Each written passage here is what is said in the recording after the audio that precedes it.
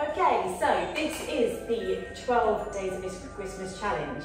For the 12th day of Christmas, you're going to need some cushions. If you haven't got cushions, then folded hand towel or folded big towel will do to give you some height under your head. You're going to start laying on your back for single leg stretch.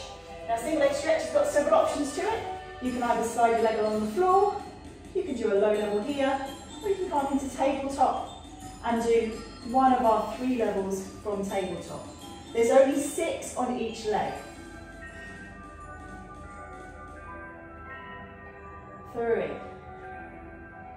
four. So you just pick one level and you do all 12. Make sure your tummy is down, you're imprinting the spine. I've lost count now. I'm not sure if that's 10 or 12. I'll do two more just in case. Don't want anyone telling me that I haven't done enough and making me do the video again. So that's your 12. Make sure you come out of the exercise properly.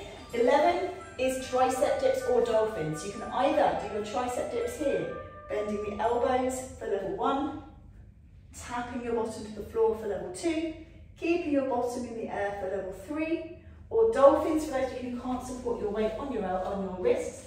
You've got down here for your lower option, make sure you're keeping the towel tucked under. And for those of you who can, you've got the straight leg option, pushing down in the heels here.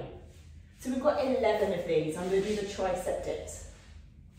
So the top option on the wrists here, we've got 11, 10, 9, 8, 7, 6, 5, 4, 3, 2, and Then we're going straight into curl-ups.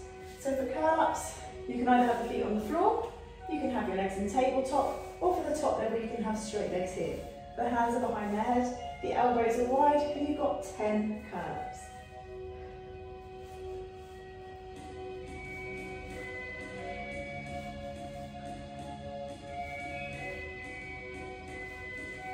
Seven,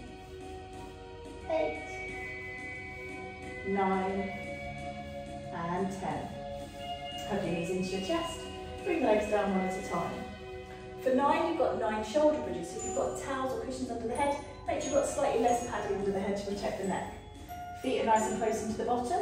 Those of you who to do this on a big ball, you can have your feet on a chair, so your feet are supported here, um, or um, the sofa is fine. Otherwise, feet are on the floor, feet and knees hip distance apart, and you've got nine of them. So you breathe in, breathe out and tuck, squeeze, open the chest, breathe in the top, and then come back down and there's eight more of those.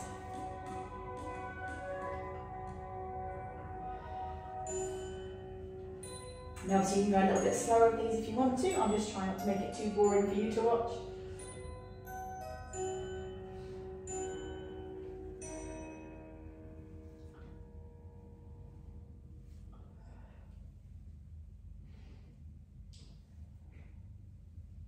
That's five.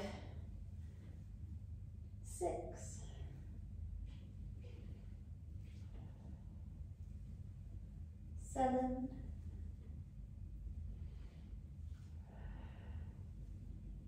eight, and nine. And again, when you finish, bring the knees into your chest. You've got eight clams on each side.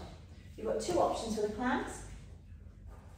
The lower option is keeping your feet on the floor and opening the knee.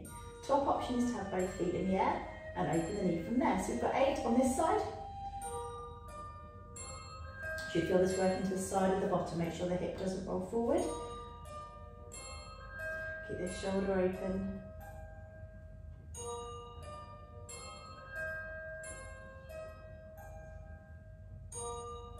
Seven and eight.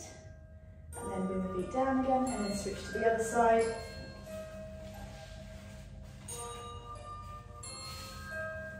Can't have your arm under your head here, you can always support the head a little bit higher with something else underneath.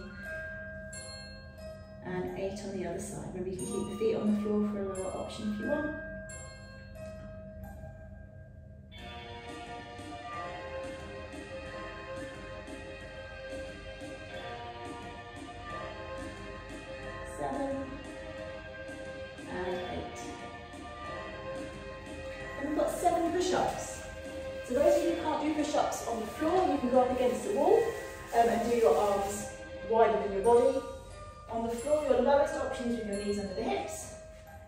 Option is with the pelvis tucked, and top option is straight legs.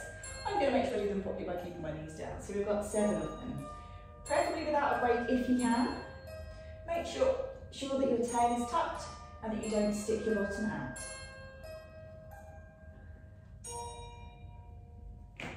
Lost count again. I think this is seven. Just in case I'm going to do one more. And then sit back. Stretch. Give your arms a shake. A little uh, tricep stretch, then just press on the elbows. Six, six is teasers. So you've got either three on each leg of the single leg option. So your arms are above your head. Lowest option would be here. You can always keep the head on the floor if you need to. Next option would be from straight legs, coming to 45 degrees. Next option would be to straight legs here. And if you're doing any of those options, it's three on each leg to make six.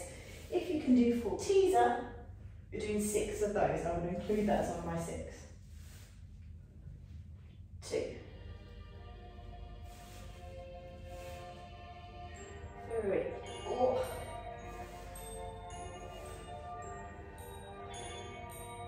Now I don't want you lifting your legs up if you can't bring them up safely, so I'd rather do three on each leg as an easier option for you to.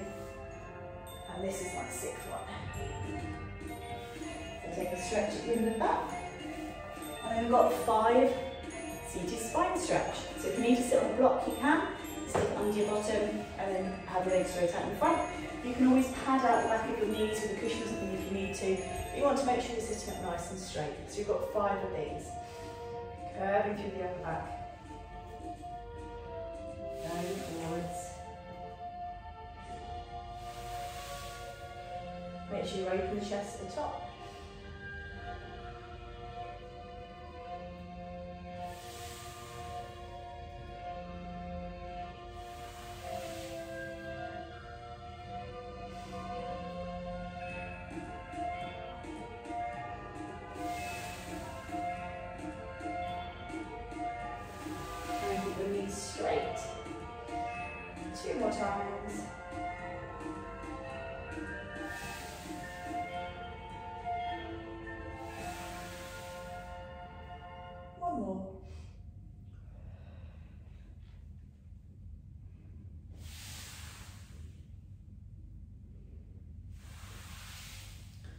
We've got four roll downs.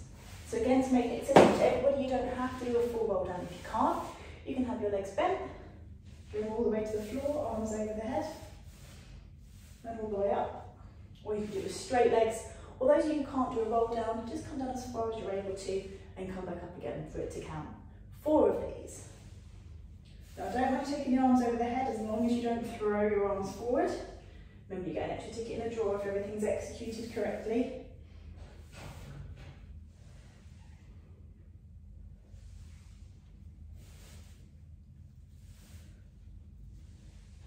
One more.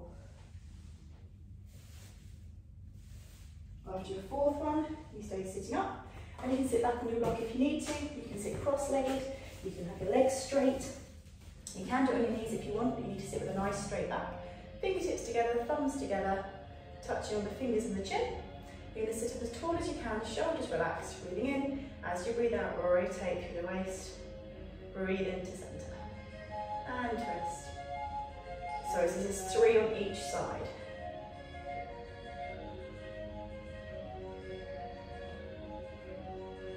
Make sure you're sitting up nice and tall, elbows are relaxed, shoulders are relaxed. And then we've got two tabletops. So back on your backs. Two tabletops, one leg, imprint, down and down. Second side, up, up, down and down. And that's it for you twos. And then you've got a 30 second plank. Now I've made a mistake here because I can't see the clock and plank at the same time. I'm going to put it on my watch. Hang on two seconds. Stop watch. Ah, stop watch. Okay. So you can do this on your elbows. You can have a tuck in a quarter plank, a half plank, or a full plank. Or you can do the half plank or the full plank on your wrists, or those, know there's a few of you that like the upside down plank, that can be done with a straight leg, um, or one leg straight. You've got 30 seconds. I've got, oh, I'm just on my elbows. So three, two, one.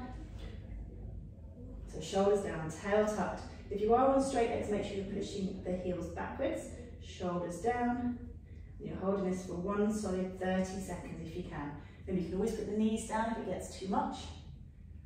Stop the timer. I have no idea how long I've been going on for. However, why is it stopped? Oh no, it's fine. We've got 10 more seconds. I thought I was going to, have to do it all over again. Oh, five seconds to go. Three, two, one, and relax. Take a little stretch. And that is the 12 days of Christmas. Enjoy!